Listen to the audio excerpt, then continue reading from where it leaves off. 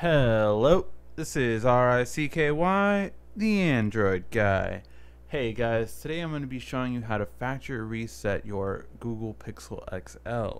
Now this is the same process for the Pixel or the Pixel XL, but just so you know how to do it, just very simply you're going to swipe down, hit the settings button right here.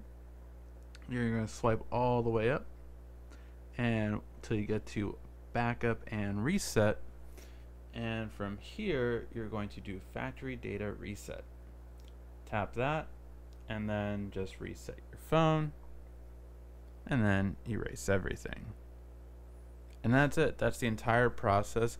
Uh, depending on the last time you signed into your phone or if you have a password you will have to re-enter that or re-enter your Gmail that you uh, signed up the phone with now, if you don't have that, you can get a reset from Google, but that's a process that you will have to do.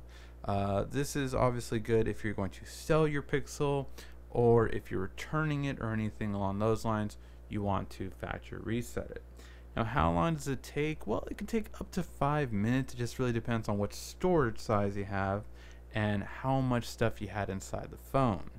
Now, I didn't really have uh, anything on the phone, just started up, fresh start but if I did then it would have taken uh, much longer. Again could be up to five minutes even up to 10 if you really have like uh, a much bigger storage size.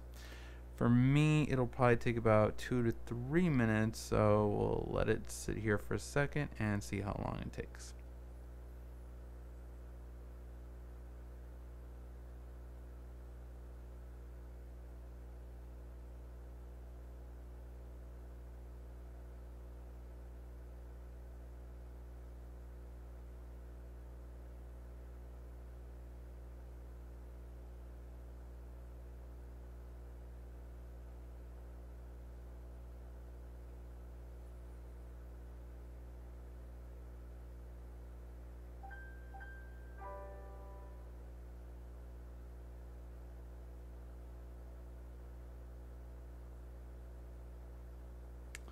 Alright, and as you can see, it took slightly over two minutes, so the entire process pretty quick, and now everything is factory reset.